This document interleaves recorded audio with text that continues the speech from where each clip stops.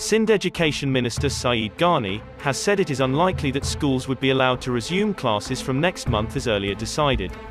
Keeping in view the ongoing second wave of the coronavirus pandemic, it is unlikely that education institutes would be reopened in January 2020, said Ghani while addressing a press conference in Karachi on Wednesday.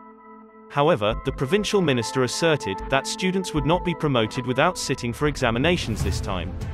The statement comes as the province's coronavirus tally surged 206,489, out of which 32,139 infections were recorded in just 22 days. This is Pakistan Observer. For more latest news, subscribe to our YouTube channel. Thank you.